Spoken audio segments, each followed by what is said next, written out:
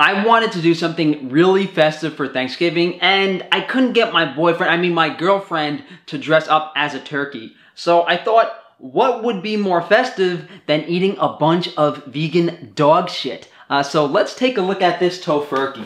And I actually had to stop by three different supermarkets to find this thing. First, I went to Whole Foods. I was like, listen, Whole Foods has got to have this nonsense. And I go to like the frozen meat aisle, and there's this middle-aged lady, you know, talking to this worker there. She's like, oh my god, I can't believe you guys are out of Tofurky on Thanksgiving. My vegetarian daughter, can you please like go in the back and check for this? So I was like, oh great, now, now what, I'm not gonna even be able to find this stupid thing? So, so I drive to another grocery store, and then the third one had it, actually. Uh, you know, I felt like an idiot holding this at the checkout line, but uh, it's kind of funny because I'm like this this jacked out of my mind, chiseled out of stone, you know, Italian guy holding this this bullshit. What was even more ridiculous is when I got home and I opened this thing up and I was like, huh, there's more than just uh, this turkey nonsense here. And, you know, man, all the, the vegan boys are going to get real excited for this, if you know what I mean. Uh, so we also get uh, a cheesecake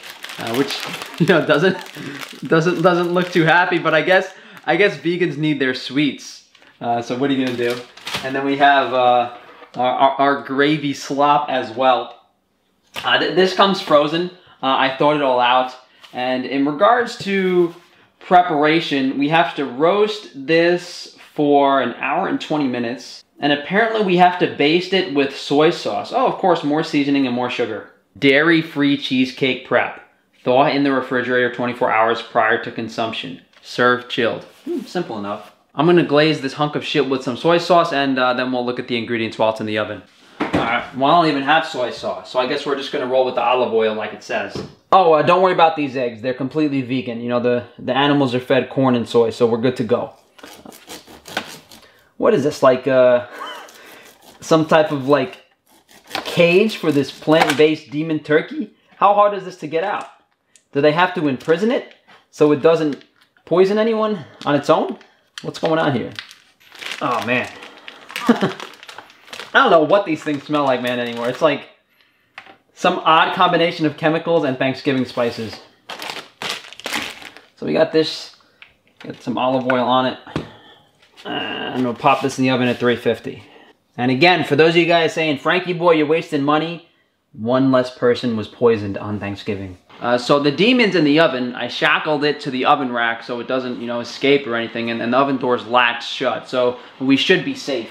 You know, as soon as it awakens from its frozen slumber, you know, we don't have to worry about being attacked.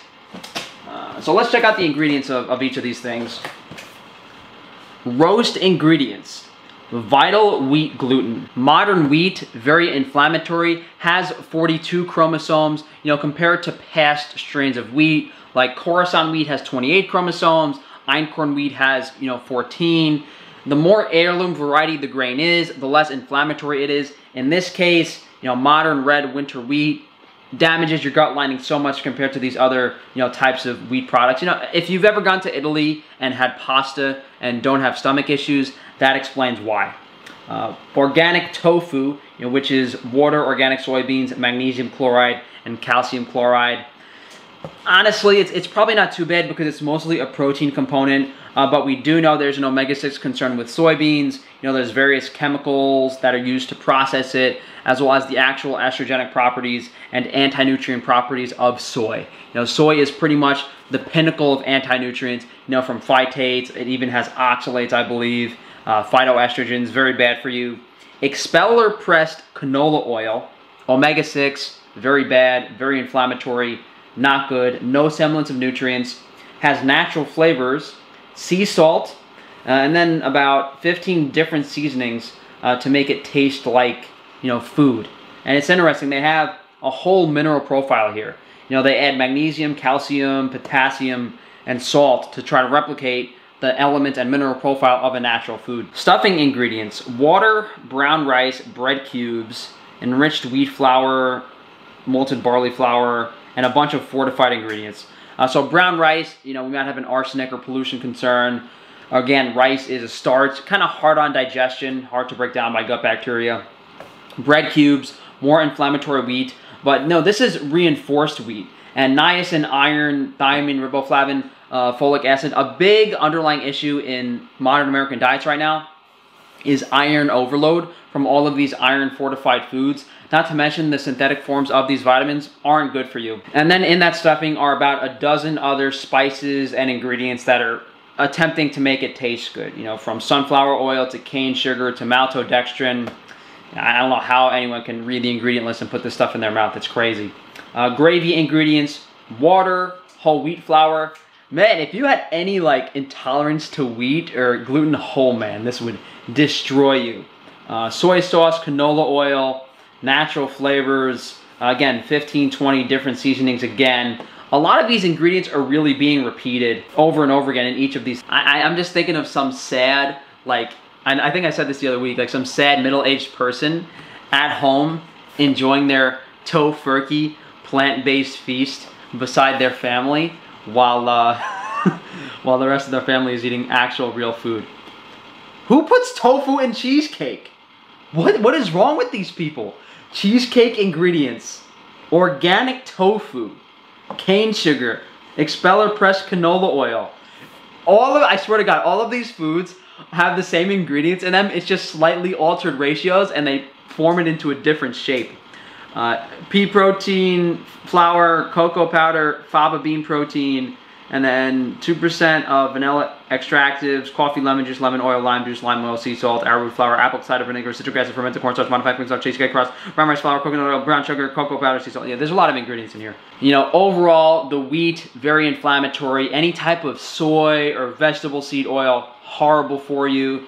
Every single one of these, you know, plant additives or plant extracts, each of those foods can be addressed on an individual basis for their anti-nutrient profile. I, I just can't believe that people genuinely think tofu and vegetable seed oils are healthy. And this is probably the biggest thing going on right now. We have been led to believe, you know, I can't believe it's not butter, all of these things, you know, the saturated fat dogma is still very strong in our modern culture. People think that these foods are healthy, but it's unfortunately the opposite. You know, it's literally the quickest way to a grave would be to eat this shit every day. Tofurky gravy. Just gotta warm this up on the stove top. And we got our cheesecake too, so I guess I'll take the stuff out. Start a new tradition without even trying. If you do something twice in a row, it's officially a tradition. If this is your first Tofurky roast dinner, congratulations! You're halfway to a brand new tradition.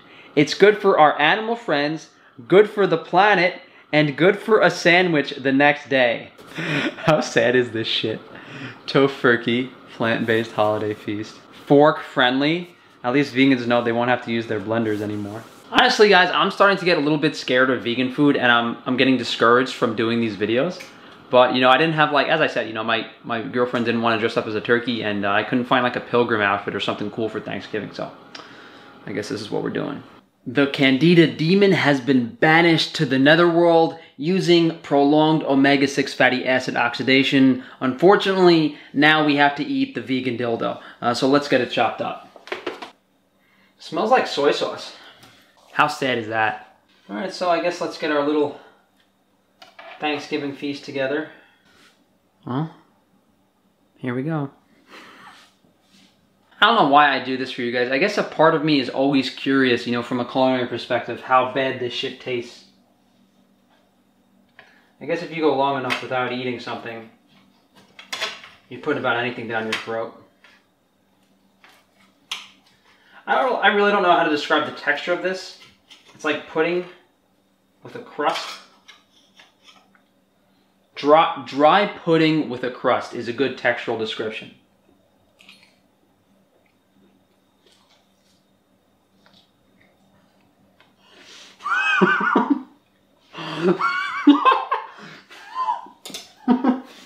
it literally tastes like a loaf of bread. It's so stupid. These fucking vegan, these vegan morons are paying $15 for a loaf of bread. Then again, I guess I'm the real moron here. Alright, I guess let's give the stuffing a shot. The stuffing tastes like soft bread with some spices in it. I guess I should try the gravy on its own. Oh god, why do I do this? Tastes like some Chinese sauce gone wrong. Let's put some gravy on this hunk of demon shit and see what it tastes like. the thing is, they add so many spices, seasonings, salt, sugar, soy sauce. That's all it tastes like. You essentially have a blank slate. They add enough seasoning till it's somewhat palatable, and then they throw it on a plate. I honestly feel bad for anyone that's eating this tomorrow. I really do. Or, well, today, the video of the day is published. Let's dive into that cheesecake. Of course, it's got to be a chocolate cheesecake. Because vegan, I guess I guess you can't make a vegan cheesecake, right? I guess it would have to be a chocolate cheesecake. Because there's you know there's no way to really make a vegan cheesecake because you know cheese isn't vegan. Oh my god, that's so sweet. That tastes like really cheap, shitty chocolate cake mix. If you swallow that, man, oh man, you'd feel like death for three days. It's like chocolate frosting. It's so sweet. I can see though, I can see how you know, vegan, you know, you eat this whole shitty meal, stuffing yourself full of vegetable seed oils, carbs, you're still hungry, so then you have to macro dose yourself with like a bunch of sugar and even more vegetable seed oils. It's absolutely, absolutely crazy that they're able to serve this food to people or sell this food to people. So the ingredients are poison. It tastes like over-seasoned chemical poison. And uh, I guess I'm gonna you know, maybe I'll feed this to the skunk in my backyard. Maybe it'll poison him and I won't, uh, I won't get bothered anymore.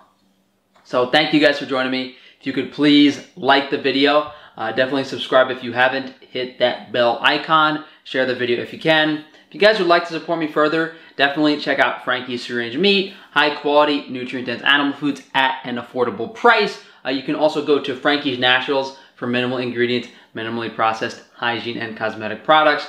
If you'd like to reach out to me for one-on-one health consultations, shoot me an email, frankatufano at gmail.com. Thank you guys for joining me today and enjoy your Thanksgiving. Fuck this, man.